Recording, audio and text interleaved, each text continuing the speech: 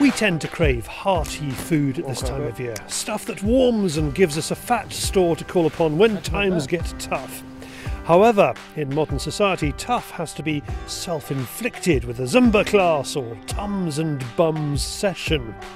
For wood pigeons, it's a different story. They really do need to pile it on, and this maize is like a bread and butter pudding buffet. The far side of the field, there's been a lot of pigeons and crows on it. The farmers asked me to shoot it. Today they say we can get, we're going to get a lot of rain, and access to it is like getting over the fence here and walking right across. It's, it's so wet everywhere, so it's a, a big walk. We've got another maize field which you cut probably 10 days ago. That's going into wheat as soon as we get a dry spell, which looking at the weather, don't know what's going to happen.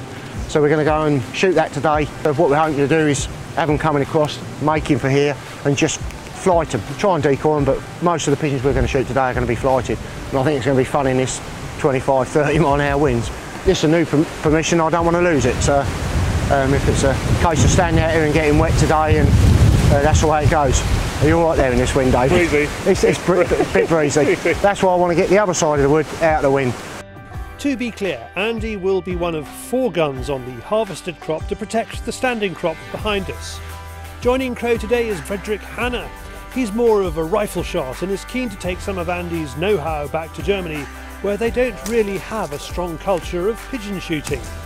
Andy starts by building a hide big enough for the tall German. Yeah, we're going to have to have a big one today. Got big Germans in.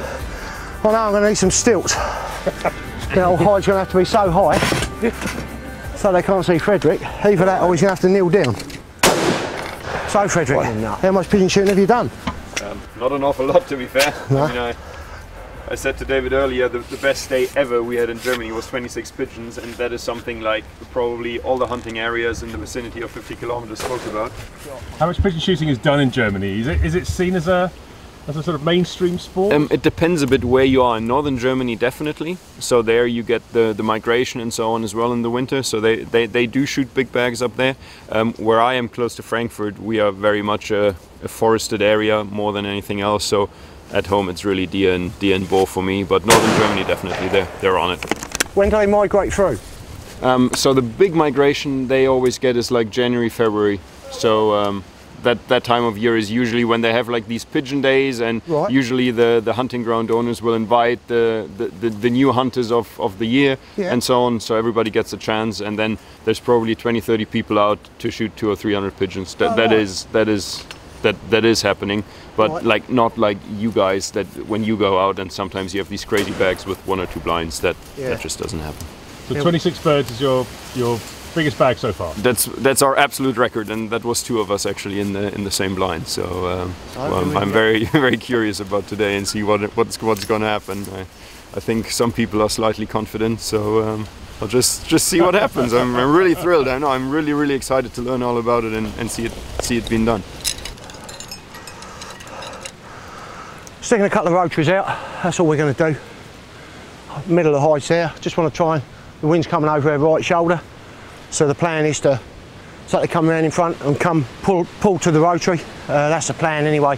I've got no got many decoys, bro. No, I haven't got any today because we're going to be flighting mainly anyway. So it's just a case of trying to draw them to where you are. Once we get a few out there, hopefully they, they might start looking at the decoys, and then uh, Frederic can take over then. When finished, Andy's hide is as impressive as King Ludwig's castle and blends in a lot better. Although Frederic says in Germany they would never put a hide so close to a wood, especially when shooting corvids. Back home, we always say when we're decoying crows that yeah, yeah. we shouldn't do it next to the edge of the forest because the birds will be scared of, of predators such as foxes or, or stoats or, or something. Yeah, yeah. Is that nothing you ever worry about? No, I've never worried about it. I've, no? no, I do quite a lot more. Most of my crow decoy shooting is along the edge of a wood, um, round farmyards and that. But interesting. Yeah. Okay. I'll give that a go at home then yeah. and see if it makes any difference. Yeah.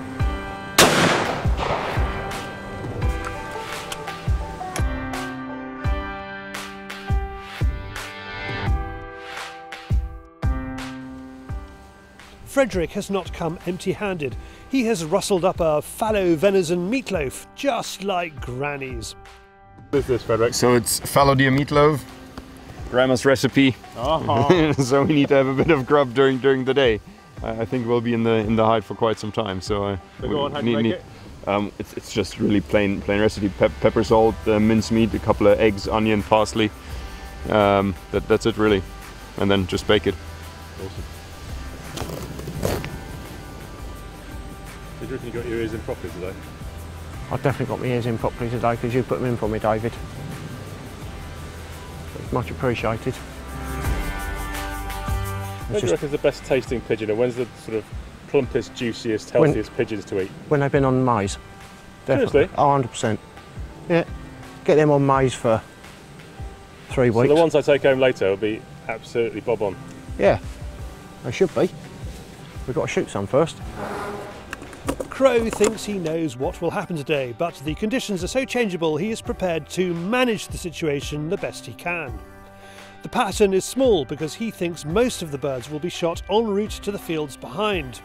He is only expecting to pull some back if they can fight the wind. Yeah, of course, they have too much wind. They, they up their mind they want to come and there's just one big gust and it just lifts them. It's just, they're not managing to punch across the field. They do, I'm not saying they're not all making it, but quite a few of them are making it. Not with mayo, uh, mustard. Yeah, quite the- oh, well, hold on a second, hold on. Look at that bad boy. Okay. And there you go without Mr. Crow. Cheers, Frederic. Can we invite him again, Crow? Because we don't eat like this, do we? No, we can't. We're good. It's good, isn't it? Mm.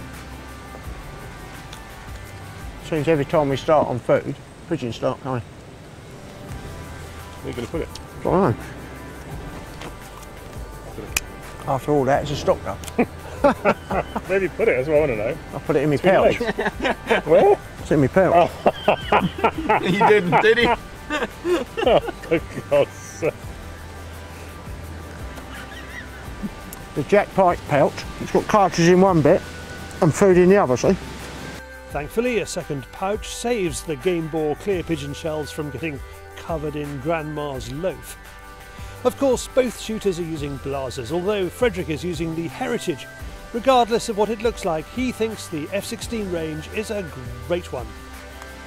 So explain what makes the heritage a heritage then. The, the, the heritage, well, it's uh, it's it's really the ultimate game gun for the UK, I would say. Side plated, nice game scene on there, just a, a really really pretty and just beautiful F16 really.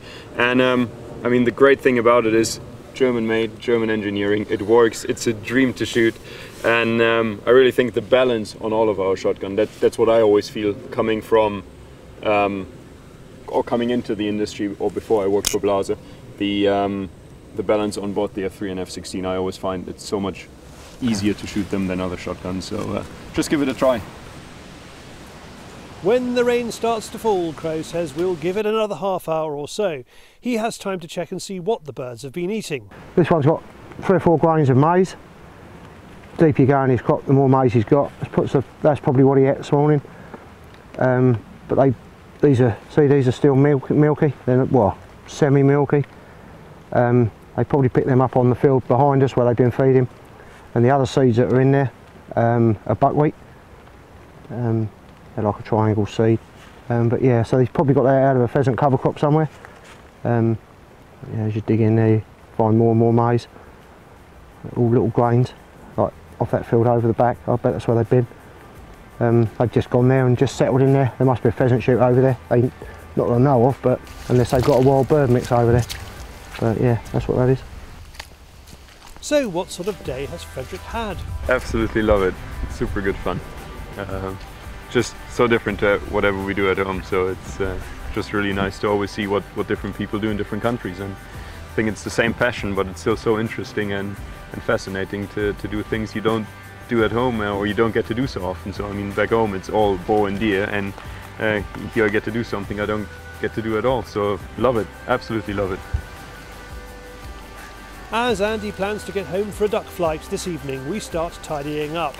It's been a tough day with some challenging birds. Nothing daunted, this is a new bit of ground for Andy, and he needs to show the farmer he means business.